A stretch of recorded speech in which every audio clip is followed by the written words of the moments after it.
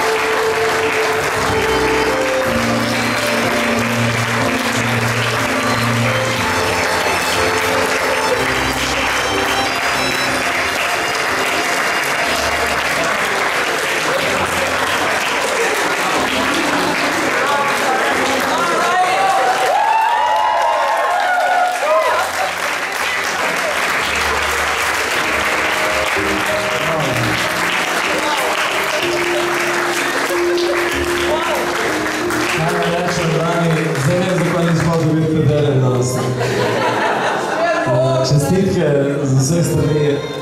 Jaz vam, jaz vam nekaj povedal, da tukaj lepih stvari, ki sem danes videl, že dolgo nisem videl, res. Eh, Lepo je videti v vseh očeh, eh, tako naše neveste danes, kako je gledala Markota.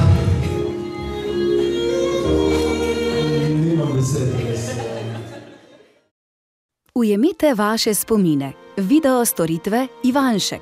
Naj vaši najlepši dogodki ostanejo v trajnem spominu. Snemamo in fotografiramo poroke, osebne jubileje, prejeme svetih zakramentov, pa tudi zabave, predstavitvene videe in razne prireditve. Pokličite nič 31 613 264 ali nas poiščite na spletu. Z veseljem bomo prisluhnili vašim željam. Video Ivanšek.